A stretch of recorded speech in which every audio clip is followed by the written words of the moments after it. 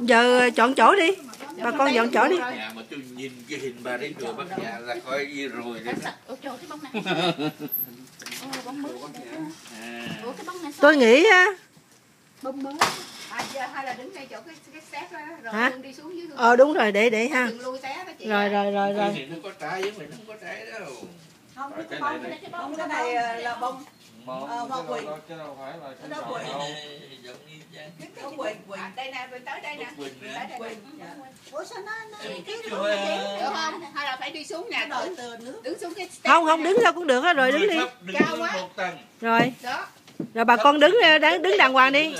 Rồi xuống đi. Rồi bà con đứng đàng hoàng đi tôi chụp. cao đứng ở dưới. vậy thì ông đi xuống đi. Thấp à thấp đứng ở trên. Đó. rồi ông Yến có đi xuống không? Không.